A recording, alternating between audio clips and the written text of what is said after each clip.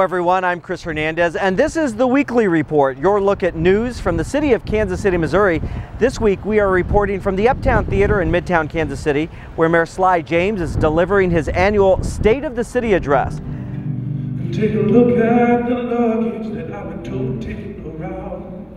Trinkets and milestones, but the best that I found are the blessings and the proverbs. No, not some words, but the faces of now. Haven't you heard of Kansas City, baby? What could I do?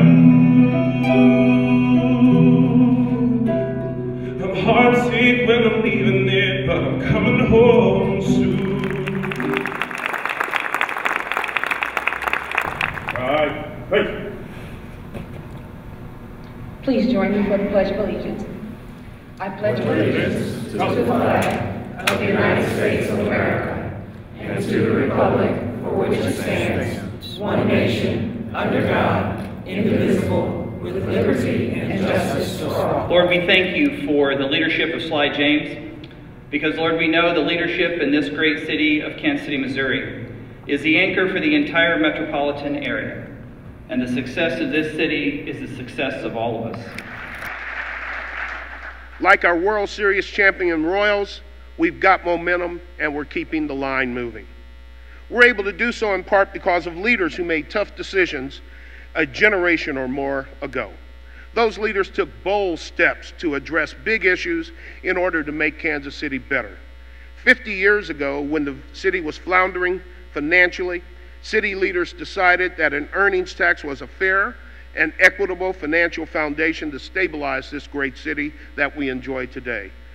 This city, any city that wants to be the best it can for its citizens, must remain focused on the future and recognize that we are all part of one Kansas City.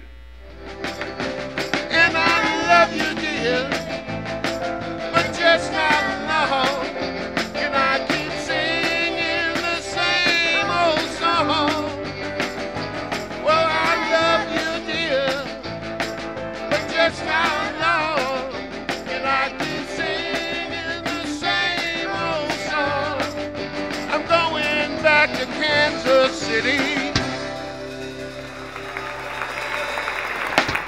Ladies and gentlemen, that was the Naughty Pines with special guest Mayor Sly James. Thank you for attending the State of the City address. Now let's check in with some more of our city's departments.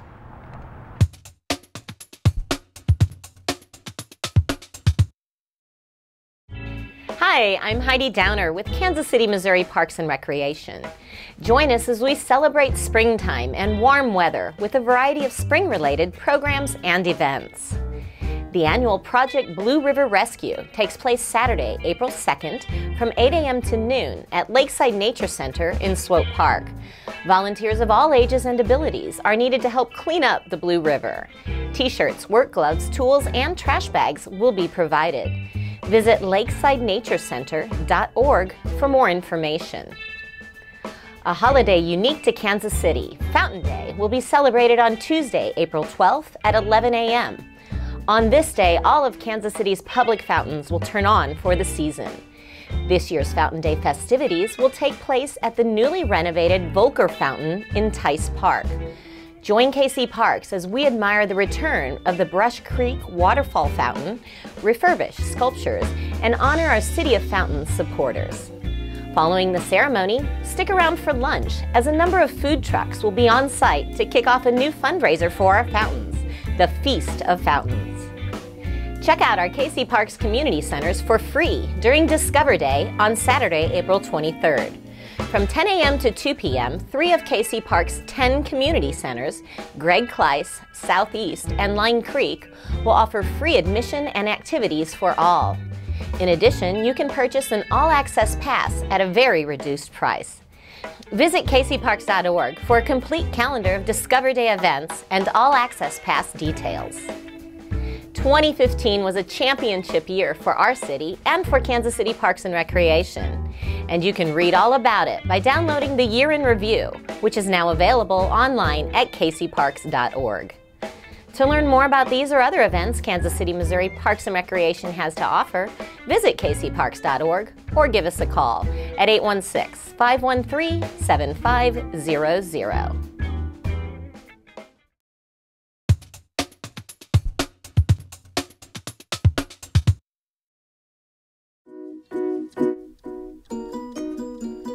Most of the time, this is what the Blue River looks like water following the channel to the Missouri River.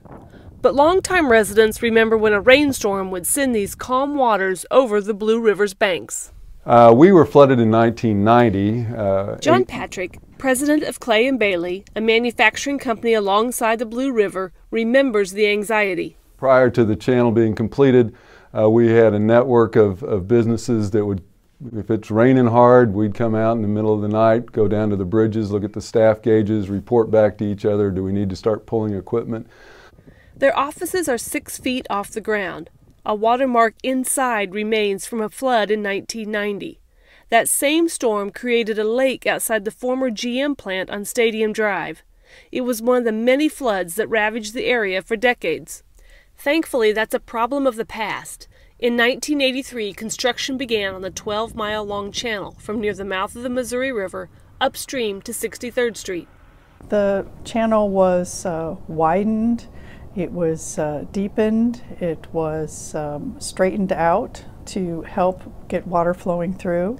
KC Water worked with the U.S. Army Corps of Engineers to develop a plan to minimize flood risks to the area and with the Blue Valley Industrial Association, the Kansas City Industrial Council, and the Missouri and Associated Rivers Coalition, and others, to ensure city and federal funding continued to complete the project. Waterways Division Manager Linda Hoffman praises the group effort. I, I think that the partnership that we have formed um, and the extreme involvement of our stakeholders, uh, not only with the city but with the Corps of Engineers throughout this entire process is a model um, for the rest of the, the U.S. Among the accomplishments of this 300 plus million dollar investment, the floodplain was lowered six to eight feet, reducing the flooding risk to the 68,000 workers in the Blue Valley. The historical Civil War era Byram's Ford was preserved, and a new walking biking trail was created alongside the river. After 32 years, the work is now complete. After the channelization uh, has been complete, uh, we all sleep a lot better. They're seeing a great improvement. Um, the economy's growing, businesses are moving back into the area, um, and it's, it, has been a win win for all. A month long celebration begins Friday, April 1st with Blue Friday. For a full list of activities, go to kcwaterservices.org.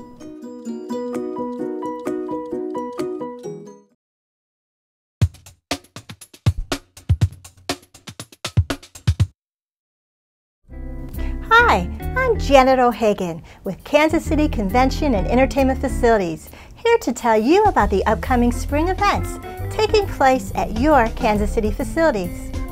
Mark your calendar for Kinky Boots the Musical, winner of six 2013 Tony Awards, including Best Musical, at the Kansas City Music Hall April 5th through 10th. A heartwarming true story of Charlie Price, who has suddenly inherited his father's shoe store factory, which is on the verge of bankruptcy, and finds it's up to him to keep the business alive. Charlie finds inspiration in the form of Lola, a fabulous entertainer in need of some sturdy stilettos. As they work to turn the factory around, this unlikely pair finds that they have more in common than they ever dreamed possible. For ticket information, go to Ticketmaster.com. On April 14th, more than 2,000 area students will converge on Bartle Hall for the iBuild Showcase, an annual event which brings students together for an opportunity to actively connect with industry professionals.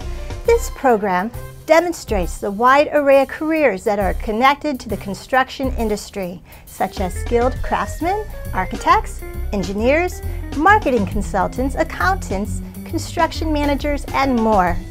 Go to nice-kc.com for additional information.